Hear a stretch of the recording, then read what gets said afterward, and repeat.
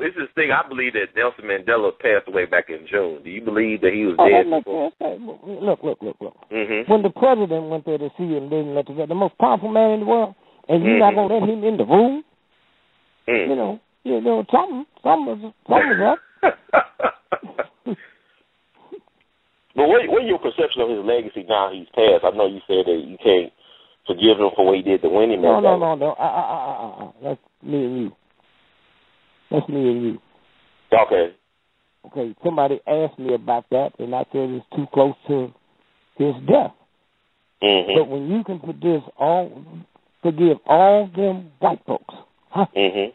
that killed and used research, they did head transplants on on black folks.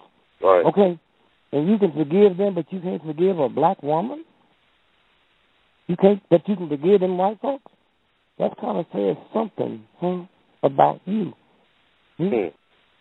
And six months ago, no, nine months ago, hmm, Mhm. they voted in Cape Town to name a street after him, not a city, and then white folk voted it down. Mm.